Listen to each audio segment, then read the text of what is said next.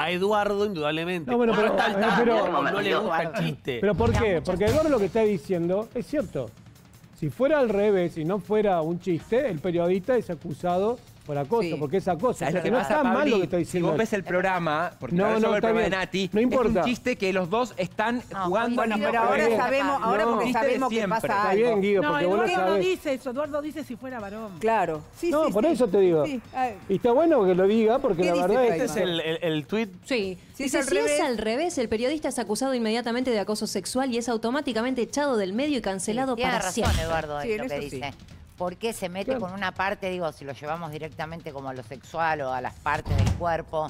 Ella le dice, te Pero esperan estos Tiene dos. razón si, a ver, si. Nati J... No, Guido, tiene razón si realmente pasa como él dice que pasa. No, que tiene razón, pasar. pero chicos, pero acá no pasa porque es un juego. Ahora, Pero no está le- diciendo le que pasa pregunto ahí. una cosa. En el caso de que igual fuese un chiste, si el hombre le quiere hacer ese chiste a una mujer, los dos están Queda de acuerdo. cancelado.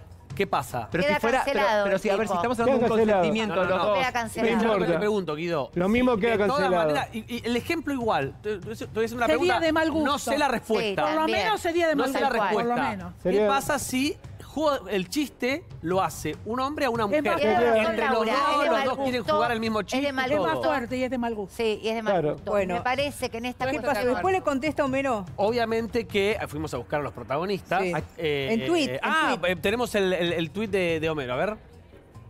Que es compañero. Dice, cuando Nati te hace un chiste a Edul y vos ponés, y si fuera al revés, te estás quejando de que ya no te quedan cosas a nadie. No te nada. dejan acosar a nadie. Eh, nada, tenelo en cuenta. Se dice. Y también en Twitter, obviamente que se expresó Nati J. A ver si lo tenemos. Ah, nota. Nota. Ah, Estamos Nota. perdidos, chicos. Eh, vamos a ver entonces la nota, porque fuimos a buscar a los protagonistas. Protagonista. Eh, hablamos con Nati J y nos decía esto, mira. A ver. Hola Nati J de Edul, ¿está bien o no? J de Dul. ¿Se sigue usando eso? Con Gastón Edul, ya hay como cierta confianza, un ida y vuelta, como para generar, digo, hay un vínculo generado para hacer este, esta especie de chiste, que después algunos lo, lo vieron mal, no lo vieron tan bien. ¿Lo hablaste con él antes? ¿Se dio? No, yo lo hablo con él todo el tiempo. O sea, nosotros. El tema es que cuando uno eh, corta un pedacito, ¿viste? No solo falta toda la previa de ese mismo momento donde él me venía tirando palitos al aire, incluso también en chiste, sino que falta todo el historial del columnista que venimos jodiendo desde hace un año. Así que lo hice sabiendo y que es un chiste que tenemos con Gastón hace un montón y a veces incluso hablamos antes o después del programa, jaja, estuvo re gracioso, digo. No lo haría ni dudando ni uno. Si tengo 1% de duda de que algo que yo diga puede incomodar a alguien, no lo digo. Eduardo Feynman, a tuitear esto, a decir que si fuera al revés, Sí. ya estarías cancelada o sin trabajo. ¿Qué te genera? Que las redes son así, ¿viste? Cuando algo gira, después yo puedo acá explicar esto y Gastón podría salir a decir algo. Incluso, incluso el mismo programa ese lo dijimos en un momento, tipo, obviamente no, jaja, no estoy incómodo, es un chiste. La... Entonces, es como que digas lo que digas, lo que gira es lo que gira. Y eso sí me, me da un poco de pena porque el que ve eso directamente le puede dar una sensación errónea de que yo puedo estar queriendo incomodar a alguien que jamás lo haría. Me estoy empezando a dar, cuenta que es medio en vano explicar las cosas, así que el que, insisto, la gente que mira a Olga, nadie, ni una persona que mira a Olga en mi programa pensó que, eh, estaba incómodo Gastón. Entonces digo, bueno, yo para ellos trabajo, la verdad, no para el que me quiere putear en las redes o quiere pensar lo peor de mí, que es mucha la gente, no trabajo para ustedes. Tiene razón. No trabaja La para. verdad que es verdad, tenemos que tomar esa postura. No trabajamos para la gente, Pero para los demás, como ex- dijo ella, ¿viste? Pero para- Explica no, el fenómeno, que- chicos, de redes, lo explica Bueno, súper bien. está Acá nos pero pasó. ella tiene que entender que no van a opinar Pero acá nos como pasó con. la con gente que ¿Se la acuerdan cuando estábamos debatiendo un día con Flor? eh, de, no me acuerdo, de ¿Qué Jimena cosa? Hicieron un corte que giró y ponen un silencio, como que yo le hago un silencio a Florencia.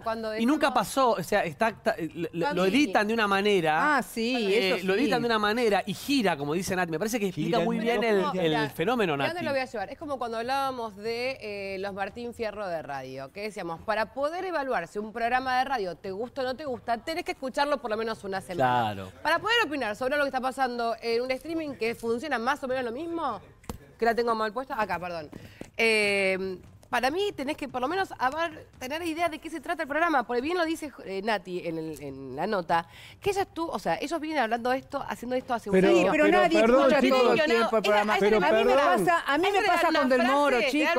A nosotros Pero- con Del Moro subi- viven subiendo cosas que decimos fuera de contexto, Claro. que vos la ves y decís, ¿cuándo dije Pero eso? esperá, porque lo de ¿Entendés? Y no, nadie escucha, ningún periodista Pero escucha para- todo, lo todo el programa. Pero, para- pero lo de Feynman está diciendo una realidad también. Feynman se está subiendo a una porque quiere No, que le- porque Josefina, mirá, no No tampoco lo le encanta José. el quilombos a él. No, Le encanta Yo creo que no necesita, a ver, creo que Feynman no lo necesita. Le encanta. Entiendo, José. A ver, no necesita Le encanta porque que lo Feynman. bueno, pero Feynman es un tipo que le da muy bien lo que hace y lo hace bárbaro. Sí, Eso no lo necesita. Pero quédate- acá subió lo un bondi. necesita porque él habló, él siempre generó polémica para Yo- estar en la boca de la gente lo para que la gente lo escuche. Pero acá se equivoca porque acá él lo que hace. No se equivocó, No se equivocó, chicos. Para mí, chicos, sí se No, equivocó. no se Contrario, me equivocó. No, para mí No, tampoco. para mí Sí, tampoco. chicos, perdón. Bueno, Bueno, Bueno, no se equivocó. Bueno, también, para mí sí. ella- también hay una cosa. Vos, a- si nosotros no supiéramos por ¿Hay vos problema la que ellos luna, hacen algo? el amor, hoy hay un problema en la luna, ahora te digo.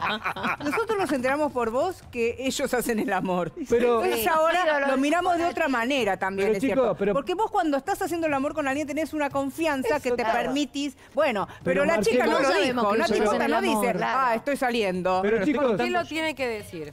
No, no chicos, tiene pero que esperen un poquito. pero Pablo, Esperen un que poquito. Porque no Si es hay- normal que alguien te hagas un juego así, si no, tampoco, si no tenés Pero si confianza. es un En acuerdo, público. es algo que En, en un chicos, la- en- en el Es un chiste que streaming. propone el programa. Es Bueno, algo que bien. surgió al aire, en Claro. nota, Pero olvídense, se pueden olvidar- y cuando que va a terminar. ¿Se pueden olvidar dos segundos? Pará, No ¿se pueden terminar. olvidar dos segundos de, de así, de lo que Sí. conocen de la información? Véanlo crudamente. Vean crudamente. Lo que está diciendo Feynman es, si fuera al revés, obviamente a él lo pueden acusar de acoso y cancelarlo. En tanto y en cuanto no haya está. consentimiento del otro lado, está consensuado, No, chicos, sería esto y está y es Pero vos ya está estás poniendo, pero vos ya te estás Chicos, agarrando del caso. No, no, bueno, están, no escuchan, no están Sí, escuchando estos Karina, programas de radio, de verdad. ¿Tiene dólares ella ahí? Sí. Sí, ahí- Pero Sí, porque es el dólar de la suerte que usan en Ah. el programa, joder. Qué suerte. Pero- bueno, vamos a ver, a ver la nota de Homero y el, ella. Sí. Se Para enojó la saber qué dice. ¿Cómo andan? ¿Cómo anda Olga? Especial eh, Copa América. Uf, excelente. Fue una, una semana impresionante. La verdad que nos fue increíble. Y eso que no tuvimos tanto de la Copa América en sí. La verdad No. que fuimos nosotros en Miami. Sí, llegamos a pegar una nota y rompíamos todo. Con una nota pegamos, rompíamos todo. Chicos, no lo que hizo mucho ruido fue este romance, esto que está empezando o no, entre Nati J y Gastón Edul. Ustedes como compañeros, ¿cómo lo ven? ¿Cómo ven ese de vuelta? La verdad tenemos la duda de si es el espectáculo o si es la vida real Sí. todavía. Hay gente que se va sumando, ¿no? Y que opina en, en Twitter o en X es ahora. Eduardo Feynman. Sí. Que salió a decir, bueno, si esto fuera al revés, estarían cancelados. Eduardo Feynman es bait. Todo lo que dice Twitter Eduardo Feynman es bait. No lo cree ni él. Deja de tuitear boludez, Eduardo. Bueno, vos también saliste como a copar la parada. Viste que hay gente que dice, y si fuera al revés, estaría preso. Y a mí me parece que las mujeres que todo el tiempo están sufriendo acosos constantemente y abusos constantemente, que nosotros salgamos a ofendernos porque si fuera al revés, me parece que lo único que intenta ese discurso es bajarle la vara a, los derechos conquistados por el feminismo o a, lo- a los cambios sociales que estamos viviendo en este momento. Esos hombres que dicen eso tienen clavadita la espina del feminismo como algo que personalmente le- les quitó algo de su vida, una posición de poder que les molesta perder o algo por el estilo, que no sé qué será, lo que les duele es eso y que se están olvidando de que to- todo apunta a construir un mundo mejor, en donde nuestras familias, nuestras, las mujeres más queridas de nuestra vida tienen que tener un mundo más, más justo. Piénsenlo así, si les sirve. Si no son tan, si no son tan buenos capaz pensando en el prójimo, piensen en, en ustedes y en sus familias, en qué mundo querés para ellas, punto.